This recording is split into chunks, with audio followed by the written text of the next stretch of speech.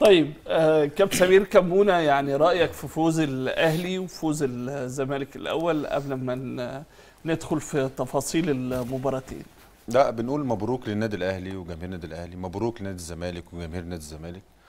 لازم هنا ندي كل ح- واحد حقه يا إسلام زي ما أنت عارف لكن لو بدأنا بمباراة النادي الأهلي النهارده. أنا بتكلم على الفوز بس الفوز. الأول هو وفي مشوار البطولة وهل الفرقتين كانوا مح- محتاجين ال- الفوز آه، في التوقيت دوت. ومين أكتر كان محتاج الفوز؟ آه، النهارده.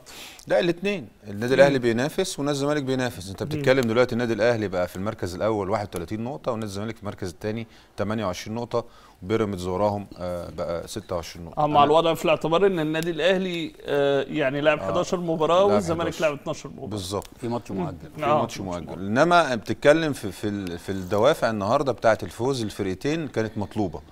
لكن الفوز كان صعب هنا وهنا. اتكلم عن النادي الأهلي النهارده بيلعب فرقة آه، طبعا آه، موقفه وحش في الجدول نادي الاتحاد آه، ترتيبه ال 11 14 نقطة مدرب جديد زي عماد النحاس بعد رحيل الكابتن حسام حسن.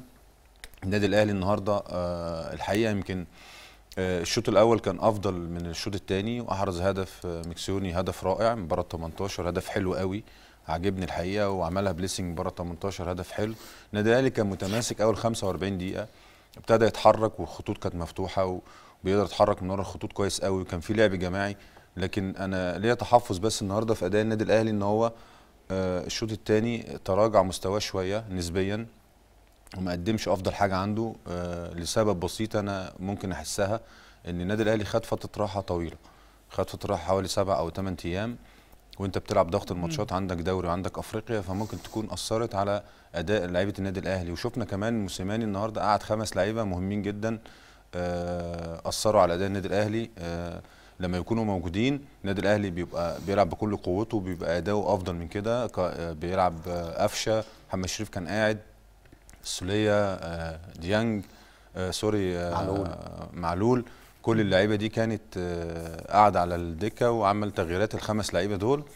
آه النادي الأهلي كان ابتدى يبقى ليه شكل شوية شوط تاني آه، نسبيا لكن مش هو ده النادي الأهلي اللي إحنا متعودين عليه إن هو بيروح وبيضيع. ومحمد شريف نزل كمان يعني كان فترة الراحة على ما أعتقد إن هي أثرت على أداء النادي الأهلي. لكن في المجمل النهارده النادي الأهلي بيعرف يكسب. عنده لعيبة خبرات وبيعرف يكسب ولما يكون كسبان بيعرف يحافظ على النتيجة وعنده خبرات في الملعب. وبيلعب تملي على الدوري.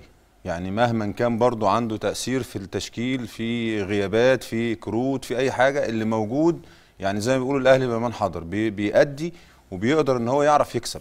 بيعرف يكسب ويحافظ على المكسب. في فرق كمان أنا بكسب ممكن يخ- يخش فيا جون أو أتعادل والنتيجة تروح مني أو مشكلة في أثناء 90 دقيقة لأ. هو عنده خبرات إن هو لما بيجيب جون بيعرف يحافظ عليه. طيب كابتن أبو الدهب ال-